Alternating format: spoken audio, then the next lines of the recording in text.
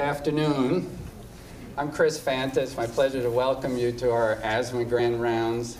This is the last program for this academic year, and I thought I might just take a moment to highlight some of the uh, uh, lectures that we're planning for next year, which I think uh, reflects some of the exciting uh, breadth and depth of clinical interest here at Partners Asthma Center, including uh, Uh, uh, as, uh, aspirin exacerbated respiratory disease, uh, T cell trafficking in asthma, the role of mechanical stress in asthma, a, a roundtable discussion of obesity and asthma, and some discussion of the overlap syndrome between asthma and COPD. So I'm hoping you'll mark your calendars and join us uh, in the coming academic year.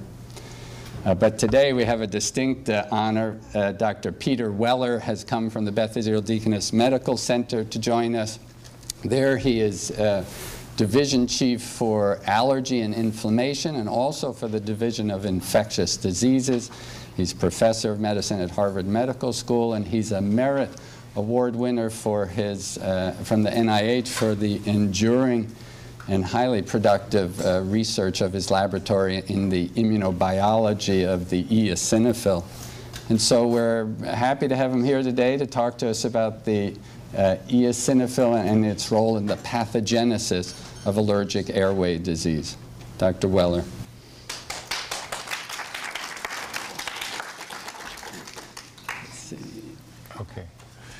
Chris, thank you very much for the introduction and for the um, invitation to make a presentation. I would like to review some of what we've learned uh, that may be pertinent to the roles of eosinophils in the pathogenesis of allergic airway disease. We'll go back through some of the you know, early thinking of eosinophils and then some of the evolving um, understandings, and then finally turn to you know some of the potential applications of therapeutics, notably an anti-IL-5 monoclonal antibody uh, in the therapy of asthma.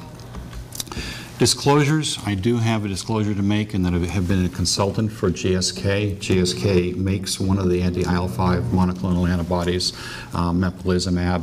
We've used that in a part of a multi-center study uh, a couple of years ago uh, for patients with corticosteroid-dependent hypereosinophilic syndrome.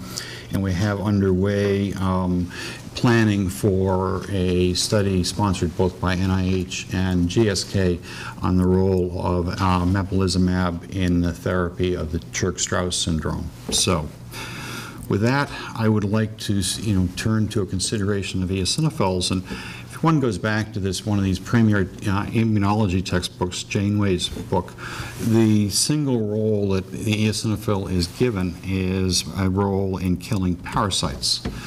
And I think that, as we'll see and touch upon a little bit, that story is not quite as simple as it might have seemed before. And then we're dealt, we're left with the, you know, the dichotomy, you know, even if it's got a beneficial role in terms of anti-helminthic uh, host defense, why does it seem to be a participant in allergic inflammation? And what are the mechanisms by which the eosinophil may contribute to allergic inflammation? So one, then, we consider um, the role of eosinophils related to parasites. We also have to think about the role of eosinophils in asthma. And this is a cartoon that's probably 15, 20 years old, and it summarizes some of the potential roles that were then recognized for the eosinophil. One is, as you see in the middle, um, the eosinophil is indeed a rich source of an eicosanoid, uh, leukotriene C4. It also is a source of a number of granule-derived proteins. And some of these are the cationic proteins. MBP is major basic protein. EPO is eosinophil peroxidase. And the release by degranulation or other mechanisms of MBP can damage the epithelium. This was recognized back then that the cationic proteins and EPO as, a, as an enzyme could activate uh, mast cells, causing their production of leukotrienes and histamine. So this was a contemporary understanding of the role of eosinophils in terms of contributing to the pathogenesis of asthma as of about 15 years ago. So let's turn then back to the nominal role with regard to eosinophils in, in host defense. And as illustrated here, we've got a larval stage of a schistosomula with appropriate opsonization, antibody or complement. Eosinophils will gang tackle this critter, degranulate upon it, and kill it. And that, that happens very effectively in vitro. What's less certain is what happens in vivo, both for humans and then also in murine models.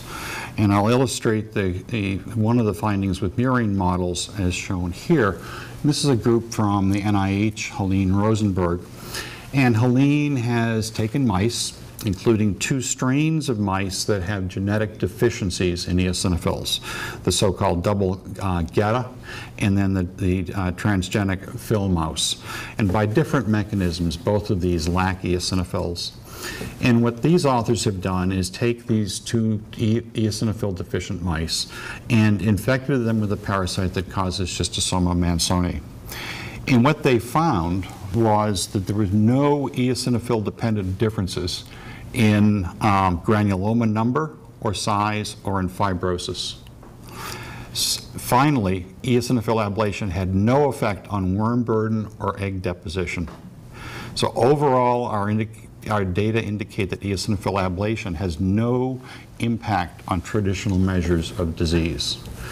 So in contrary to what one might have thought based on current thinking, the eosinophil and the absence of eosinophils did not predispose these animals to you know, a greater uh, or more intense infection with this parasite. And indeed, the authors went on to suggest that perhaps the eosinophil has an immunomodulatory function. And indeed, others have shown that. Uh, David Abraham has shown that eosinophils can serve as antigen-presenting cells. So in addition to other antigen-presenting cells, EOs have this capability. And work from our lab, including Haibin Wang, who's in the audience, demonstrated that uh, in murine models of experimental asthma, eosinophils likewise could serve as professional antigen-presenting cells, initiating antigen-specific immune responses by T cells, trafficking to lymph nodes, and so on. More recently, there's an uh, expanding recognition of roles of eosinophils in situations that really heretofore had been unanticipated. We think of eosinophils prominent in host response to worms, prominent in allergic infections. What's coming up here are some recognition that eosinophils have interactions uh, with other cell types. And specifically, uh, Claudia Berek demonstrated a role for eosinophils in the maintenance of plasma cells in the bone marrow. And this mechanism that eosinophils used is based on their capacity to secrete specifically two cytokines, APRIL and interleukin 6. So here, for this cell that's ultimately the innate immune system, is a role that was here for really underappreciated. Eosinophils utilizing their cytokines secreted to act on other cells, such as plasma cells. And that role is expanding. Um, here's a paper from Science in 2011 recognizing a role for eosinophils in sustaining um, adipose uh, cell alternatively activated macrophages. And again, as outlined in red here, the eosinophil is doing it by means of secreting a cytokine, specifically IL-4. This story continues to unfold. A recent Cell paper looking at uh, innate immune signals, uh, specifically eosinophils, again secreting IL-4, that can activate the regenerative actions within muscle cells. So this cell is beginning, to, on the one hand, to have many more functions that really had not been appreciated in the past. And a lot of these functions are based on the capacity of the eosinophil to secrete cytokines. And then finally, one recent PNAS in press paper is again emphasizing the role of eosinophils in secreting IL-4 to facilitate liver regeneration. And what's one thing that's interesting about this is the hepatocyte has the receptor for IL-4. So here's an innate immune cell secreting IL-4, directly stimulating hepatocyte regeneration. Before moving on, I think one of the other issues we have to think about, especially if we're going to start thinking about targeting IL-5, is a recognition that a group of cells now referred to as innate lymphoid type 2 cells, nuocytes and other names have been applied, are sources of interleukin-5. So before these cells were recognized, it was CD4 positive T cells that were pre- the predominant source of interleukin-5. Now we've got these innate lymphoid cells as an additional source of IL-5 that can be stimulating eosinophils. So, if we come back to a consideration sort of the cell biology of the eosinophil, and this is a picture of a eosinophil actually from one of my patients on the cover of this primer of JAMA. Um, and what is illustrated here are some of the specific granules, and it's well known that these contain the cationic proteins that we've already mentioned major basic protein, eosinophil cationic protein, eosinophil peroxidase. What we have to consider, though, is where do these multiple cytokines that are being recognized reside, and how are they se- secreted with some specificity? And there's a wealth of cytokines, and some of them are listed here. And what's notable for each of these cytokine proteins is that they are preformed within eosinophils. So the cell does not have to be transcriptionally activated, does not have to translate to generate new protein. The, all of these proteins, when measured, are preformed within the cell. So as a cell, again, of the innate immune system, this is relatively unique in that it's got an armamentarium uh, or a catalog or warehouse of preformed cytokines. And the other interesting thing is these cytokines are largely stored within granules. So that raises questions. Um, Are there differences in terms of the amount of cytokines present within uh, eosinophils from different donors? And this is work of of Lisa Spencer's from our group. And what Lisa did is take donor, e- isolate eosinophils from a number of donors, six are shown here, and then assay their content of preformed cytokines. And as you can see, while there's some variations in terms of the content from one uh, donor to another, all of them had preformed cytokines um, of uh, the, the seven uh, cytokines that were assayed here. So again, eosinophils are a source of, of preformed cytokines. And if one goes on and does subcellular fractionation, where the denser granules are here, and this is eosinophil peroxidase, a granule enzyme, and then more buoyant uh, cytosol and vesicles are at the top of the, of the fractions. One sees that for each of the cytokines assayed here, there's preformed protein present in the granules. So IL-6, interferon gamma, TNF alpha, IL-4, IL-13, all preformed proteins. Some of these will also be appearing in these lower density vesicular compartments, and we'll come back to that in a minute. If one stimulates cells, as done here, uh, looking at the distribution of interleukin 6 before stimulation or after interferon gamma stimulation, there is a movement from the granules into the more buoyant vesicular uh, compartments. And these compartments are what's going to traffic to the plasma membrane and release the preformed proteins. So, diversity protein of, of cytokines, a multitude of functions, which we'll come back to. So the question then is, how do eosinophils degranulate? And the mechanism of exocytosis, where the whole granule would go to the plasma membrane, fuse with the plasma membrane, disgorge its entire contents, does not seem like in a very uh, wise way to uh, secrete cytokines. Moreover, it's not seen in vivo, except on the surfaces of large uh, parasite targets, these non-phagocytosable uh, or- organisms like I showed at the beginning.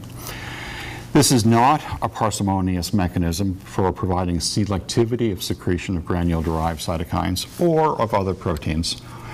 Rather, there are two mechanisms that we'll talk about. One is referred to as piecemeal degranulation, which allows for the selective mobilization of granule contents into vesicles for secretion.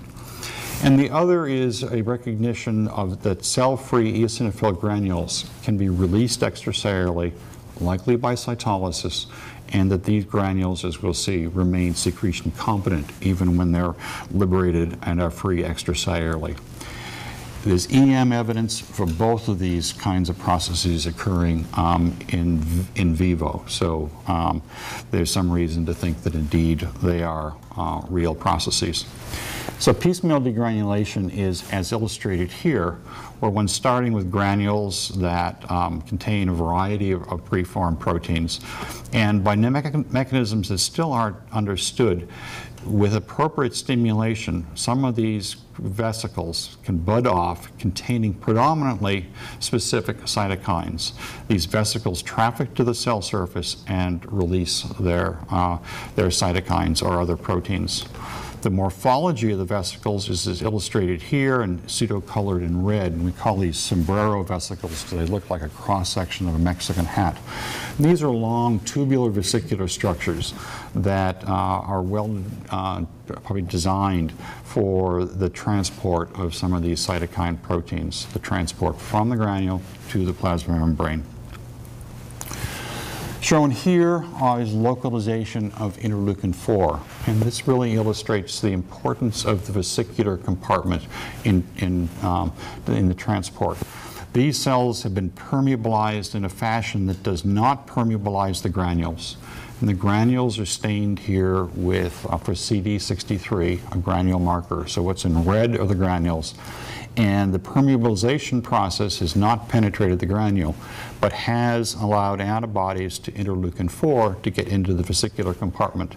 And the multiple small punctate green staining structures are all vesicles that contain IL-4 and are therefore, you know, a preformed protein in a compartment that can be very, rather, rather uh, rapidly released uh, and secreted and this is illustrated even you know, more prominently here.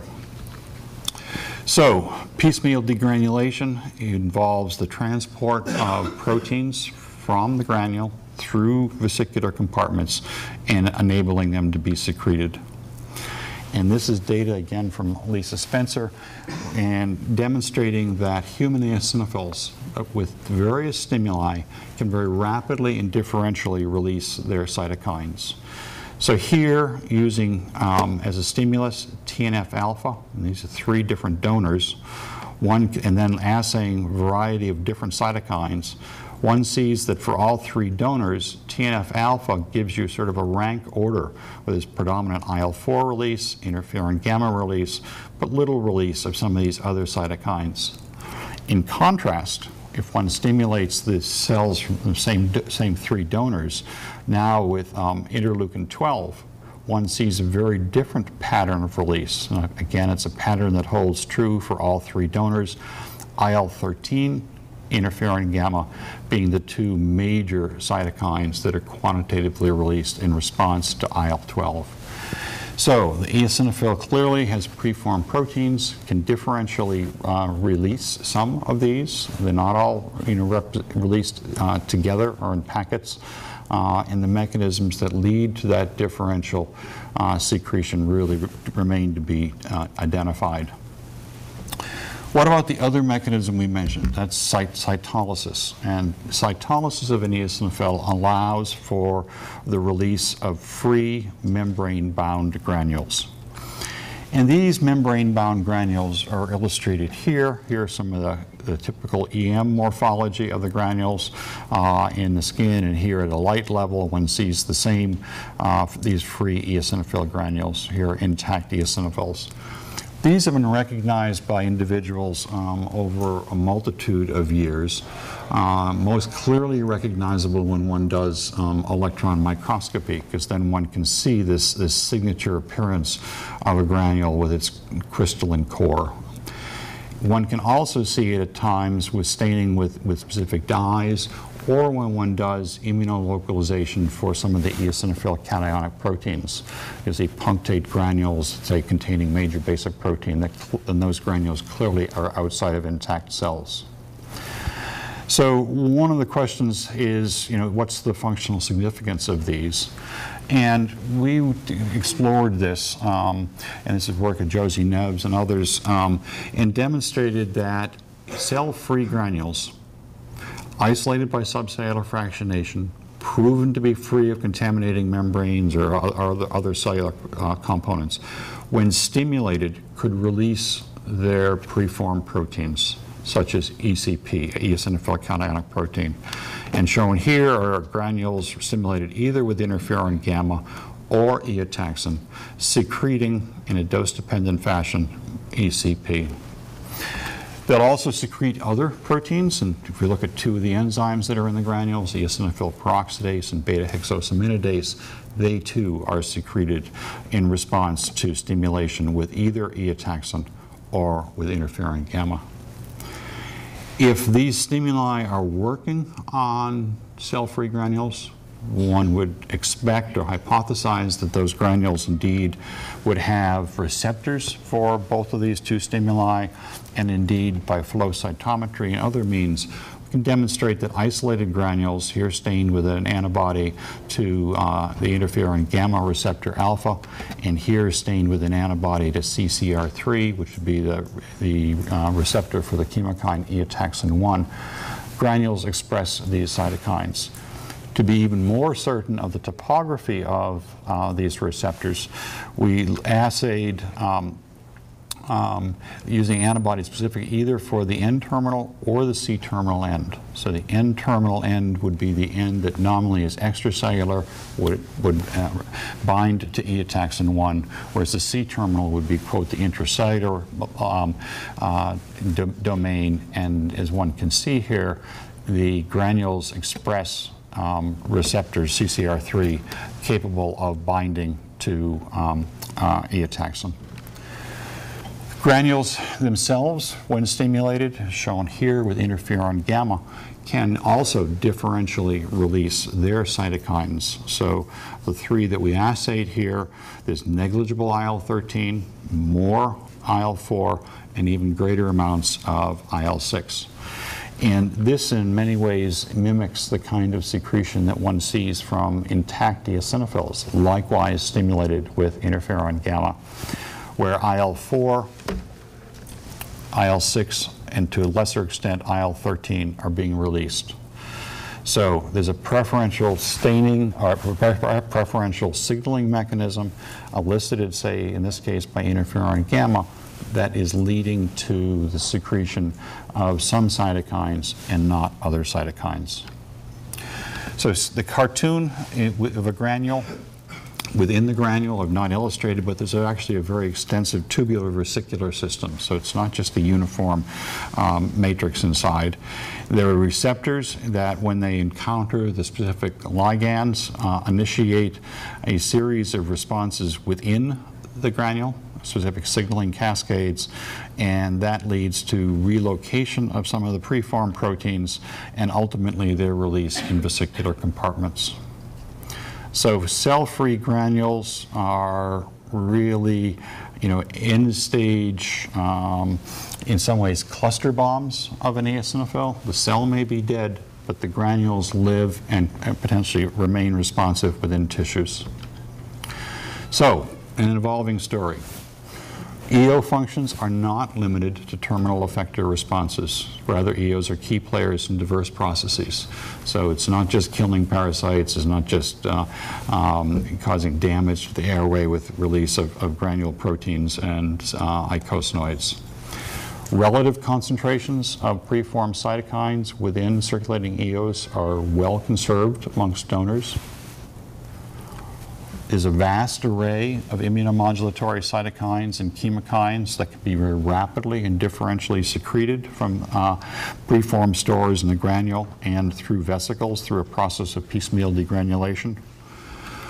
Then finally, as we've just touched upon, extracellular cytolytically released eosinophil granules remain secretion competent and are sources of granule-derived cytokines and other proteins.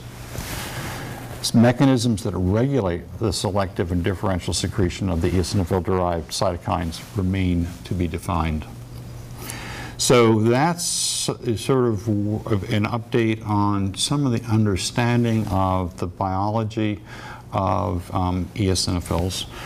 What about, if we move, move on now to a consideration of eosinophils and asthma? I'm, I'll give Bill Busse credit for some of these slides. He had uh, used them at, a, at, an ATS symposium that we co-chaired, and you know I'm building on what, what Bill has uh, prepared. So, coming back to eosinophils and asthma. EOs are a landmark of uh, allergic inflammation. Eosinophil mediators certainly can contribute to the histopathology of allergic diseases, you know, whether one turns to the major basic proteins, some of the cationic proteins as an eosinophil-derived mediator, we, one turns to eicosanoids, or as we've emphasized, some of the cytokines that can be derived from eosinophils. They all have the potential to contribute to the histopathology uh, and the underlying pathogenesis of allergic diseases.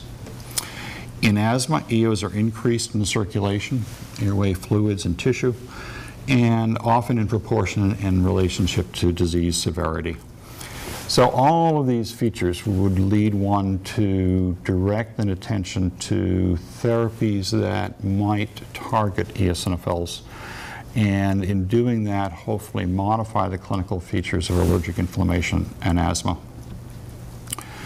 So if we review early and late phase reactions.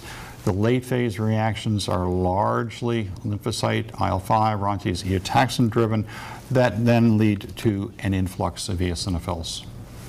So if we begin to think about targets that would get at the role of eosinophils, at least in, in chronic infl airway inflammation, interleukin-5 becomes a major candidate.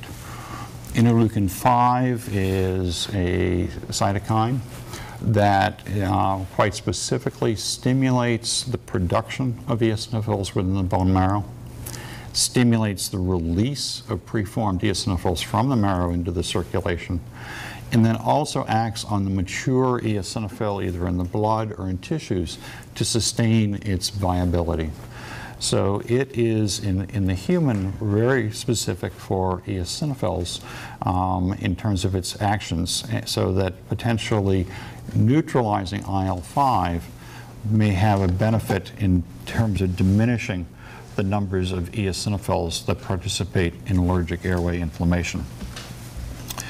So, with that as a background, this was a cardinal paper that appeared in Lancet in, in 2000 by Margaret Leckie. And she and her group looked at the effects of interleukin-5, blocking monoclonal antibody, on eosinophils, airway hyperresponsiveness, and the late asthmatic response. And what they did is they re rec recruited 24 patients who had recognized late phase reactions to an inhaled uh, allergen. They randomized these into three groups, placebo, and then two groups that got differing doses of, of uh, anti-interleukin 5.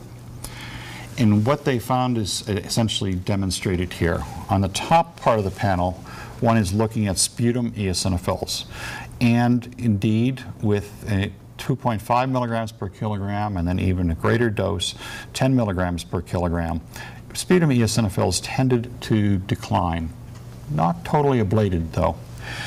But what these authors emphasized was that when they challenged their subjects with inhaled allergen, the late phase asthmatic reaction was not at all different in those that received higher or lower doses of the neutralizing anti-IL-5 antibody compared to those that received the placebo.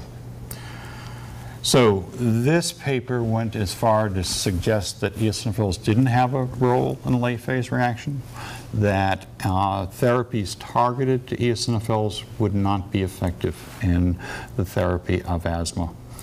And you know, this was quite earth-shaking at the time. A number of people accepted this quite readily. Uh, and uh, for a while, even NIH study sections didn't have any enthusiasm for funding research on eosinophils because, as shown by this paper in Lancet, EOs didn't have a major role a number of people, uh, Paul O'Byrne and others, questioned uh, how, aspects of, of, how this study was done, uh, and we won't get into that. Um, So, but nevertheless, this was a cardinal paper in, in the year 2000.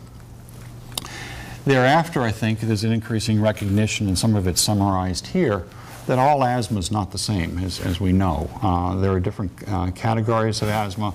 Those with mild or moderate asthma tend to have minimal sputum eosinophilia. Those with more severe asthma have more prominent sputum eosinophilia. So perhaps it's this population that would be most beneficial um, in terms of targeting eosinophils as an adjunct to the therapy of asthma. So if eosinophils are to be targeted, you know, what are the outcomes? And this is a study not using anti-IL-5, but rather using uh, uh, inhaled and at times oral corticosteroids. And this study was designed to evaluate whether inhaled or also at times uh, oral corticosteroids that were given based on sputum eosinophilia would be more effective than a standard guideline therapy uh, as used in, in Britain in the management of asthma. And the results are summarized here. So BTS is the British Thoracic uh, Society, and individuals with asthma that were, were managed by conventional BTS guidelines had exacerbations as charted here. In the sputum management group, the, uh, the EOS level of eosinophilia was monitored in these patients. And the aim was to keep the, the eosinophil level less than 3%. So if it got up, up greater than, than 3%, in addition to conventional therapy, these individuals received increased inhaled corticosteroids or at times, if needed, oral corticosteroids. And a result of that, one can see significantly less numbers of exacerbations in those who where attention to suppressing the eosinophil number was a guide to the therapy of the underlying asthma. This is a more recent paper um, in the New England Journal of Medicine where, again, the anti-IL-5 antibody mepolizumab is being used in the treatment of uh, refractory eosinophilic asthma. So this is uh, identifying a group of patients um, who are known to have sputum eosinophilia. And they're also um, uh, refractory both clinically and in terms of their, their uh, sputum eosinophilia despite aggressive anti-inflammatory therapy. The groups that are studied are shown here. About half received mepolizumab, half received a placebo. And by the various measures, there really not significant differences. Um, severe exacerbations per subject, averaging you know five a year, for in, essentially in both groups. Eosinophil count in the sputum, six to seven percent versus almost six percent. Blood eosinophil counts very comparable. Inhaled corticosteroid doses, uh, rather substantial for both of these uh, individuals, and over half in each of these groups required um, oral uh, prednisolone. So the outcome, um, part of the outcome is shown here. Post-bronchodilator FEV1s really did not differ significantly between those who received the placebo or those who received the mepolizumab. The impact, though, was on exacerbations. And as shown here, these are individuals that received 13 doses every four weeks of mepolizumab, and then the number of exacerbations were charted, and those that received placebo had significantly more exacerbations over the 12 months than those who received mepolizumab. So again, in this, this group with difficult to control asthma, with demonstrable pre-existing sputum eosinophilia, uh, mepolizumab was uh, effective uh, in terms of diminishing the numbers of exacerbations, the clinical exacerbations. What about this study? Um, again, even more recently in Lancet, and this is again looking at mepolizumab uh, in eosinophilic asthma and it's evaluating three different doses versus a placebo. It's a large, multi-center study, 621 patients, 81 centers, all adults, all with uh, two or more exacerbations of asthma. demonstrable sputum eosinophilia greater than 3%, and a blood eosinophilia of greater than 300. The recipients of the mepolizumab, as would be predicted, we're now looking at the eosinophil counts. One receives the placebo, eosinophil counts remain at their pre-existing level. And those that received increasing amounts of mepolizumab had suppression of the blood eosinophil counts. Not totally, it's not ablated, uh, but it is uh, significantly suppressed with each of the doses, tending to be greater with those that receive the highest doses of this agent. One looks at the, at the sputum eosinophil count. There's also suppression of the sputum eosinophil count. And again, it's, it's a dose-dependent suppression being greater in those that receive the highest concentration of uh, the mepolizumab. So if we come back to exacerbations, uh, in this study they defined, they defined exacerbations of worsening of asthma requiring oral corticosteroids for three or more days admission to a hospital or a visit to an emergency room, and the various criteria that were involved. And the final conclusion of the study really is illustrated here. Again, we're looking at uh, the number of clinically significant exacerbations, as defined as I mentioned, visit to the ED, admissions, et cetera, and looking at the period over 12 months, those received placebo, many more exacerbations, those that received mepolizumab um, had the best number of clinical exacerbations. So in these studies, there's accumulating evidence, I think, that at least if one targets the individuals who are candidates to receive mepolizumab, there is adjunctive clinical benefit to mepolizumab um, in some individuals with um, asthma can diminish their exacerbations, and exacerbations in all these studies are the, are the really the measures that have been considered here to date. So it's a it's a clinical measure.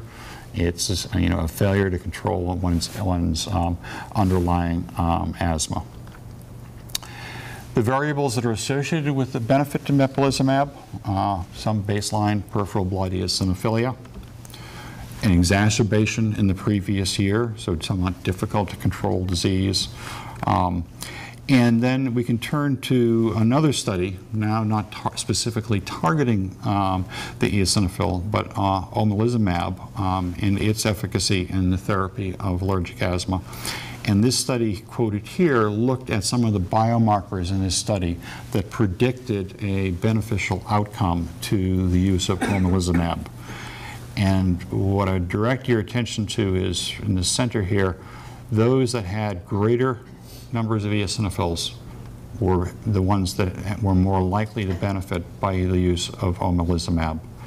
So again, in a study not specifically targeted at eosinophils, but nevertheless pointing a strong finger to the role of eosinophils in the pathogenesis of allergic inflammation associated with asthma.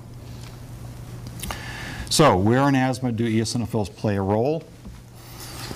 Patients with an eosinophilic profile, either sputum eosinophilia or, or blood eosinophilia, despite ongoing treatment, would benefit.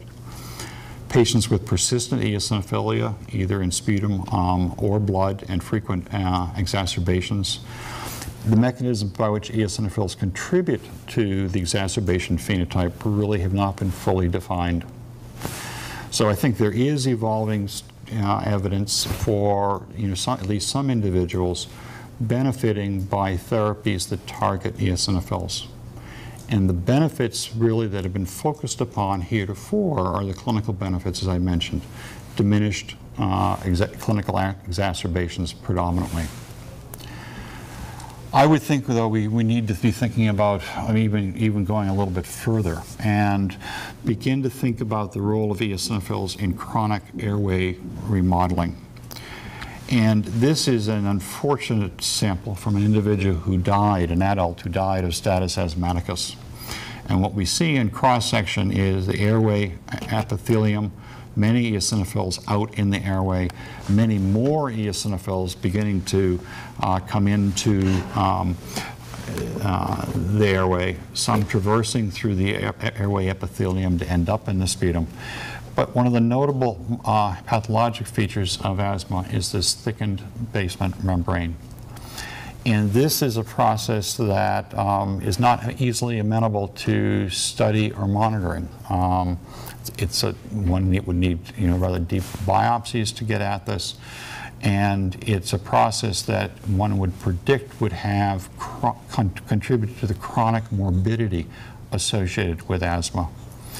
And should we, as we begin to think about the role of eosinophils in asthma, be thinking not just about clinical exacerbations, but we should we be thinking about the underlying pathology of the airways in individuals with asthma. And I would go back to a paper that appeared um, from Barry Kay's group. It's the Journal of Clinical Investigation. Um, and they looked at individuals who received two doses of anti-IL-5 treatment.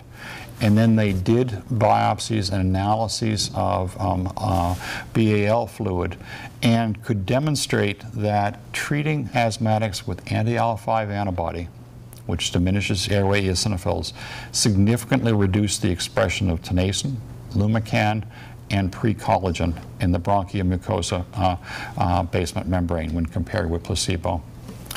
And in addition, anti-IL-5 treatment was associated with significant reduction in the numbers and percentage of airway eosinophils expressing mRNA for TGF-beta and the concentration of TGF-beta 1 in the BAL. So they concluded that eosinophils may contribute to tissue remodeling processes in asthma by regulating the deposition of extracellular matrix proteins. And I think that we have to keep this in mind. It's not an easily studied um, uh, uh, manifestation of asthma and, and, manifestation of allergic inflammation.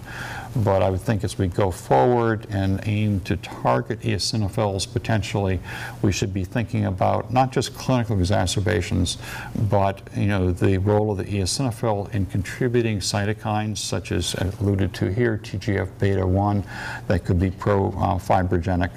Um, because this may well have a, a role in the chronicity and of morbid and morbidity of asthma.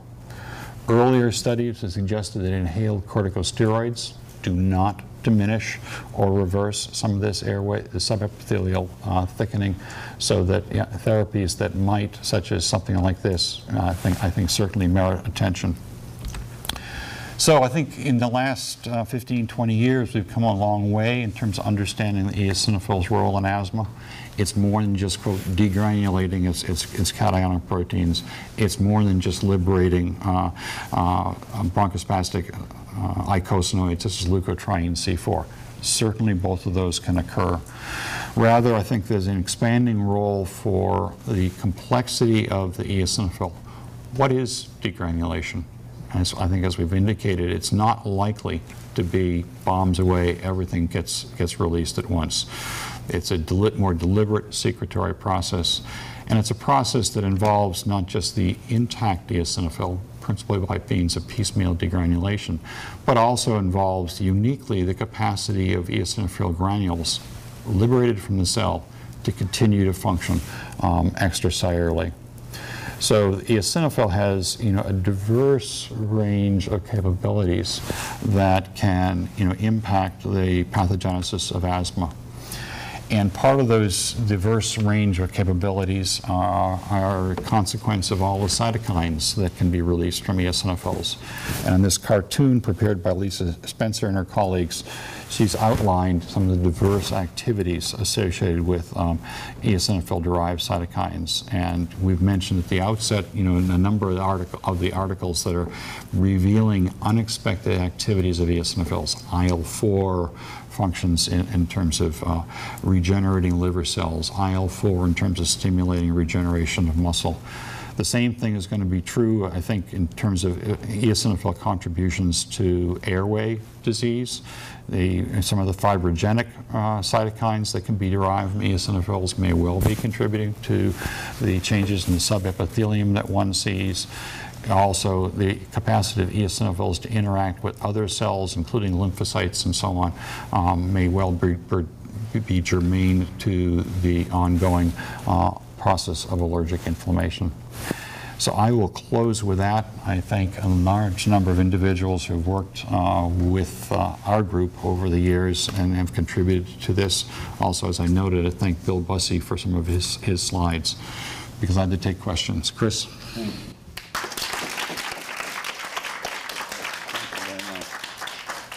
Thanks for a wonderful uh, both overview and sort of update on what's going on in eosinophil biology.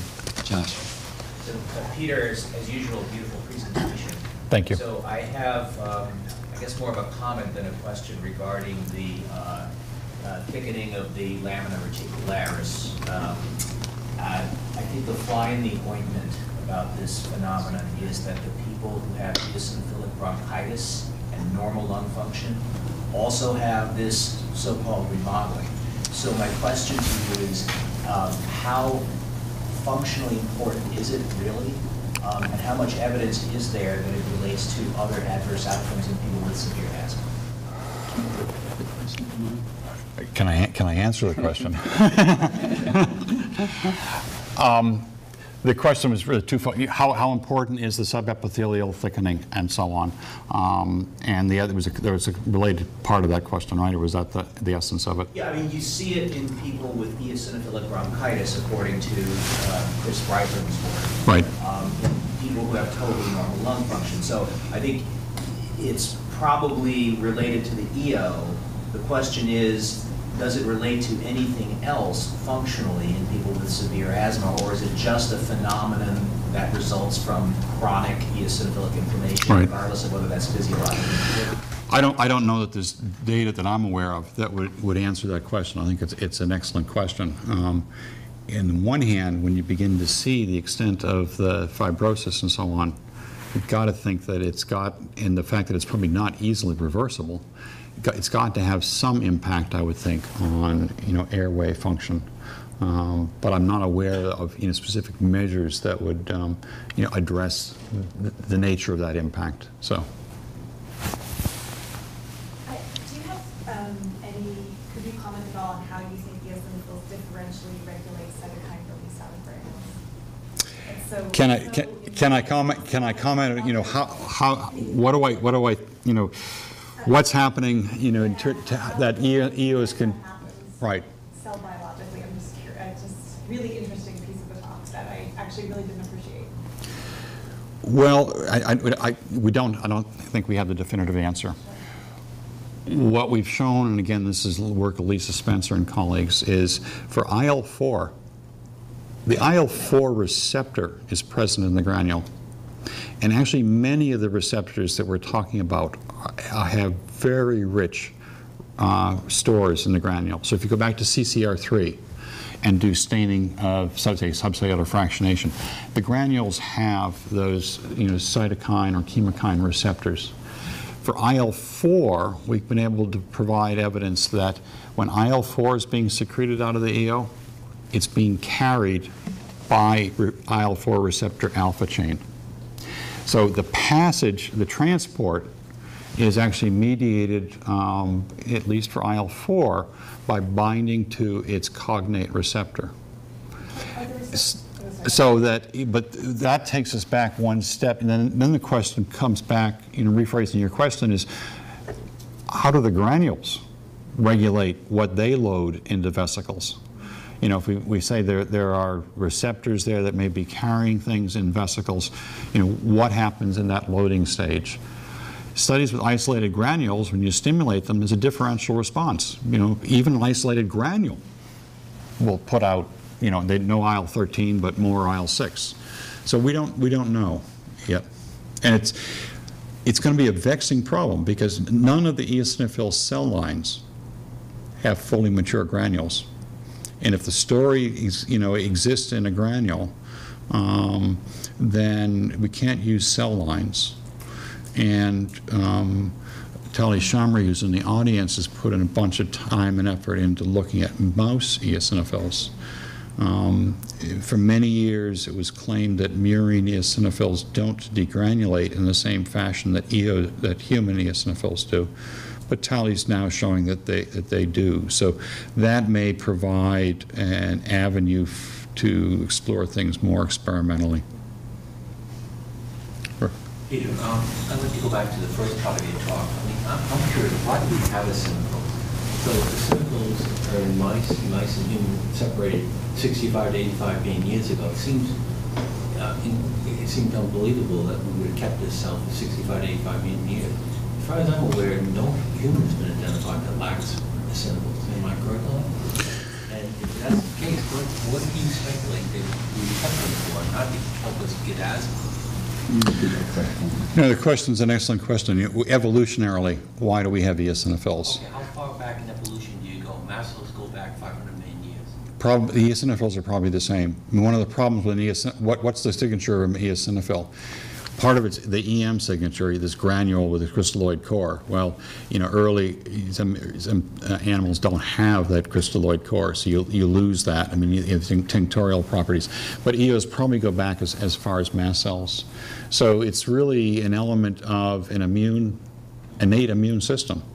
And, you know, I think as some of the things that I cited in terms of eosinophil secreting cytokines acting on various other organs, liver, muscle. This data I didn't show in terms of uh, ductal de- development in uh, developing breast in a female is, is eosinophil dependent in part. So I think eosinophils have a multitude of functions. Part of it may be that, you know, it is an innate immune cell. It's got this armamentarium of cytokine proteins that have diverse biological activities. In terms of humans, there are, there are a couple of case reports of individuals that nominally lack e- eosinophils. Um, I'm not certain that they're all credible by con- contemporary standards. Nobody was measuring the eosinophil cationic proteins. They were just looking in the blood. And if blood numbers are, you know, normally three or four percent, you know, in a, on a Gaussian distribution, somebody's going to have, you know, beneath the level of detection, but maybe not absent. So, um, you really probably are not uh, in individuals who are eosinophil deficient. So, so in your pictures, in your slides, you showed the cytokines in, in the grain. But really, what is the percent, either molar or weight or what? I mean, I mean, I was, was told that, you know, this major basic protein, I mean, 99% of the granule was not cytokines. Is that, what is the status today in 2003? How much of the, of the granule protein is in total all cytokines compared to major basic protein and the other major constituents? That's an excellent question that- that curiously is somewhat difficult to answer experimentally. It is, it turns out to be very difficult to solubilize the, the proteins in an eosinophil granule.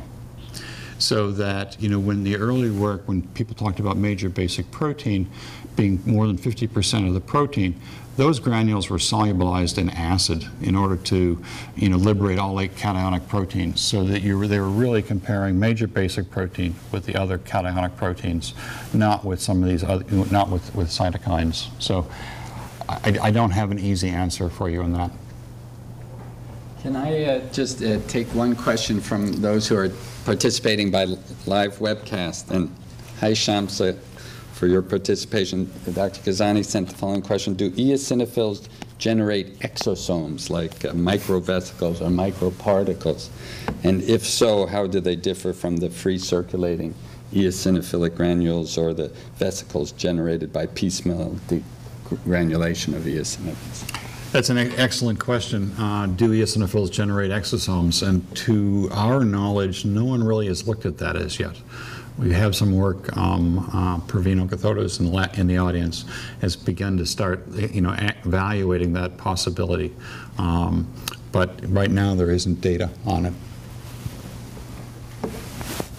So, beautiful presentation. I, I can't resist asking you about, um, again, about the thickening of the lamina reticularis, because I think within the last two years, there was a report from a group in the UK, and perhaps Stephen Holgate's group, that suggested that bronchospasm alone, um, induced by methacholine and blocked by pretreatment with albuterol, as well as induction of bronchospasm with inhalation of dust mite antigen, um, which did bring eosinophilia as opposed to the methacholine, could induce the deposition of collagen in the airways. And so it seems like one contribution to sub-basement uh, membrane thickening involves the eosinophil, but maybe not entirely. And I wonder what mechanical forces might do to eosinophils. And as a kind of associated question, do you think that eosinophils, regardless of tissue context, meaning the blood, the airway, or the bone marrow, are they all the same, and are all dense granules all the same?